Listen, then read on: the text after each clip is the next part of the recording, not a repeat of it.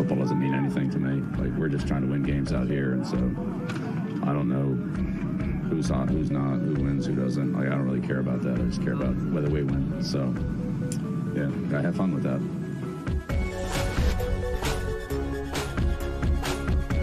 Bill Belichick, Patriots head coach, does not care about your fantasy team. We have someone here who deeply cares Yeah. about all fantasy teams, especially his, Matthew Berry. Welcome. And let me just say this. Let me say this. I'm at an age where I know all the people that I want to know. Okay, fair. I'm not looking for new friends. Yeah. You know, Jerry Seinfeld has a bit about that. When you're an adult, you got your three or four friends, and that's it. Matt Casey knows this very well. Right. I am not interested in knowing anyone else. I know all the people that I choose to know. However, I will say that it has been a tremendous delight to get to know you over the past couple of days. I am thrilled that Matthew Berry is now part of the NBC Sports family. So I am making an exception to All my right. usual approach. I have a new friend in I Matthew will take Berry. that, brother. All right. I will All take right. that. Thank So- you very much. No, I'm the same way. I'm the same way. I don't. I don't like any. You know, it's like right. You have your. You have your friends. Like, listen, I have. I have adults that I have to deal with because I have kids. So I have to deal with their their parents, and then you've got you've got neighbors, and you've got your actual friends. So uh, I'm uh, I'm with you, and I'm flattered. I'm thrilled to be here. Thrilled to be part of the NBC Sports family. Everyone has been so welcoming and great. You know, it's a scary transition because I was I was at ESPN for 15 years, and to come, you, you know, you never know what to expect. Like I was, you know, for the first time in a long time, new kid at school, and everyone's been nothing short of amazing. Yeah, I mean, I went through this 13 years ago when I joined NBC, and you do the same thing like, what is this going to be? How is this going to be? And everyone has always been great. I mean, for 13 years, it's been great. So I'm thrilled you're here, and uh, it's been great so far, and I look forward to working with you Yeah, same. indefinitely. I yes, I appreciate that. Yeah, listen, yeah, I, I sure hope so because you you leave something for 15 years. You hope uh, you're not just doing it for uh, Right. for a quick stop here. So I'm really excited. It's a homecoming for me. I started my career at Rotoworld, obviously NBC Sports, and so I, it's rare that somebody gets a chance to come full circle. And uh, you know, I feel like I did. So, welcome I was home. telling you last night that Yeah. that's how we kind of first got on the NBC radar screen because we did some work with Rotoworld and we Yeah, would sell right. the draft guides and they would sell incredibly well. And that caught the eye of Rick Cordella, who became responsible for NBCSports.com and then everything just kind of fell in place from there. when my very first job at uh, NBC at Rotoworld was 1999, and I uh, I got a job writing for free, writing a, a fantasy football column for free in 1999, and I think Rick Cordella joined that exact same week, writing player bur- blurbs, like maybe for 50 bucks a week. Like you know, him and I both basically joined the same week, RotoWorld.com, and so yeah, I mean, so Rick and I have been friends for 20 years. It's funny because it was 2000, a year later, that I started writing for the old NFLTalk.com website, if you remember that. Yeah, sure. For free. Yeah, yeah, right? yeah. Just for free. It's like, what the hell? What else am I doing? It it's a a hobby. right. Yeah, because any other, this is the conversation I had with my wife at the time. Because she's like, why are you doing all this stuff and you're not getting paid for it? It's like, well, if I wasn't doing this, I would be doing something that actually cost me money. So at Right. least we're ahead of the game. Right, I right, could go exactly. golf, and yeah. spend 50 bucks and be gone for six hours and be pissed off when I get home. Or I could do this and it makes me happy. And who cares if they're not paying me? Now, now that no longer applies.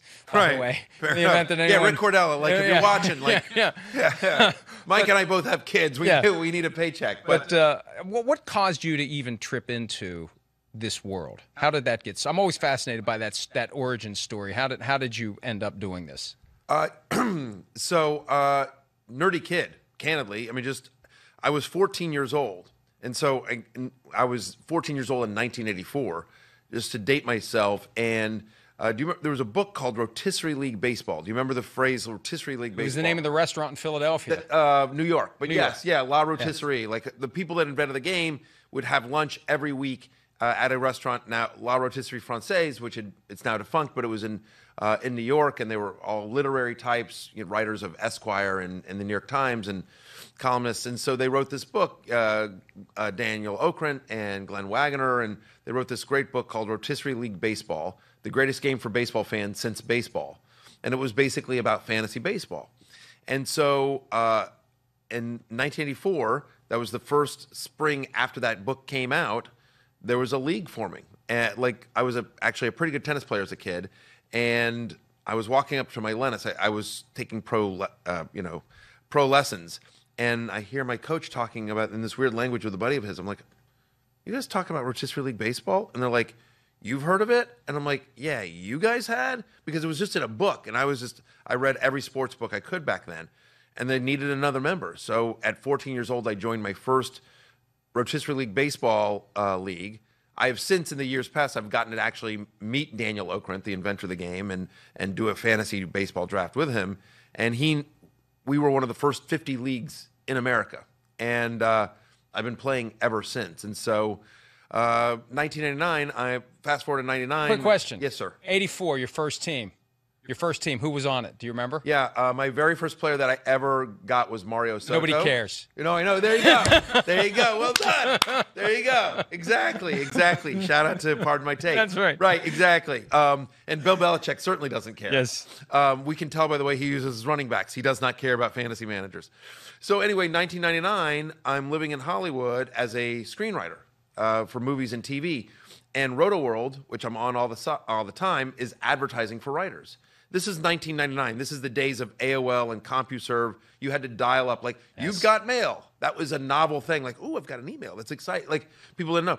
So at any rate, I email them in and I say, hey, listen, I'm a uh, I'm a huge fantasy player. It's my passion. I love it. I'm a professional writer living out here in Hollywood, and I think you know it would be so much fun just to write a column on the side for you. Could I try it? Could I send you a sample? And so uh, the legendary Matthew Pouliot, who still works at Rotoworld today, does all the baseball co- coverage for us, writes me back and says, Married with Children is my favorite show of all time. I, I looked you up on IMDb. Married with Children is my favorite show of all time. You're hired. So because I wrote for Married with Children, I got a chance to write a free column for Rotoworld around fantasy baseball, and column sort of took off. And eventually they started paying me and uh, just kept going and going. And then in uh, 2004, I felt like I developed enough of a following that I could start my own website. People were starting to make money on the internet. So I left Rotoworld to start talentedmrroto.com, made a deal with Rotoworld where they would run my columns and just link back to my site. Um, and so I did that for a couple of years. Started promoting the site in a bunch of places, one of which was ESPN. And in 07, ESPN came to me and they said, We think fantasy football is big enough that we need a guy. We're looking for our Mel Kiper of fantasy football. And we like all the work you d- have done for us because I'd been doing Cold Pizza and ESPN News and some of those shows. And uh, they said, We want to buy your website, move you to Connecticut, and make you the guy. And that was in 07, and it was a two year deal and uh, wound up being a 15 year run there. How hard was it to leave? It had to have been after 15 years. It have was. been. it, it certainly was. Miss the people. Um, uh, you know, love the people. Love my time. Wasn't look honestly wasn't looking to leave. Um, and uh, you know, and they made me a, a, a three year extension offer. Very kind, a generous, really nice raise.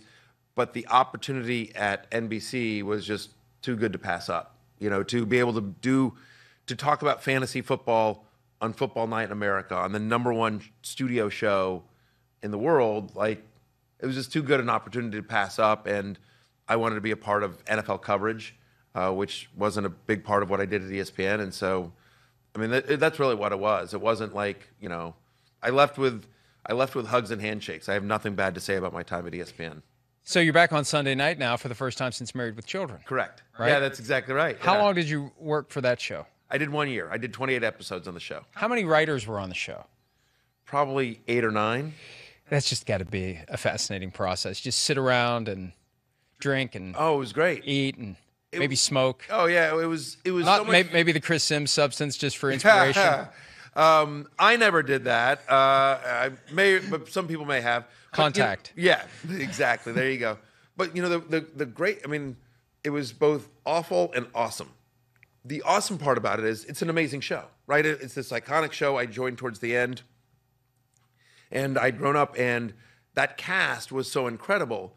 You could write a so-so joke, and Ed O'Neill would make it a home run, you know, or or Christine Applegate or Katey Sagal or you know David Faustino. Like the cast was amazing, uh, really great. And like if you wrote him a good joke, you know, it was it was a grand slam. And if you wrote him a so-so joke, they'd still sell it and make it work. So that was the great thing, and just it was so much fun to write for those characters. And it's Married with Children, so sort of everything went right. You could do all sorts of stuff. The tough part was is that there was one guy on staff who'd been there the entire time. They did 259 episodes of the show. And so you'd like, you were sitting around in the writer's room and you're trying to pitch stuff. And you'd go, hey, um, uh, you know, what about, uh, so I got this idea. Okay, so Kelly and Bud do blah, blah, blah, blah, blah. And they'd go, ah, you know, there's this one time in season six that we sort of did that with Peg. You know, I mean, like literally every single thing. Like they did, they had done every episode. Because again, the show is those four people, that couch, and the shoe store. I mean, it really, you know, I mean, it was so, that was the brilliance of it, the simplicity of it, but it was also like, you had to really start thinking about, uh, okay, what about, nah, we kind of did that in season four. You're like, oh, you know, That's what it's- amazes me about The Simpsons. Like, how in the hell do The Simpsons keep coming up with new stuff? Because Oh, yeah. somewhere you've got to have the connective tissue all the way back to the Sure. beginning and awareness of everything you've ever done because you know that there are people out there watching the show who know. They know, and they're going to call you out on it if you do contradict or overlap, or it feels like you're being lazy. And you may as well just do a clip show if you're going to go back and, and rehash old storylines again. The executive producer of The Simpsons is a, is a friend of mine, a guy named Matt Selman, brilliant writer, really funny. And I've talked to him about that, and he says the same thing. He says we we actually have to reference other, like you know, it's just like, I think, I think he was telling me a story like I think they did two different two different episodes where like a like a sugar truck or something broke down, and they had to in the second they were like.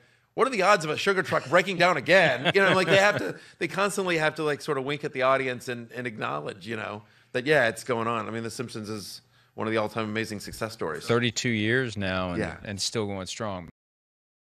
Hi, I'm Mike Tirico, and thanks for watching. Make sure to hit subscribe for the latest news and highlights from NBC Sports.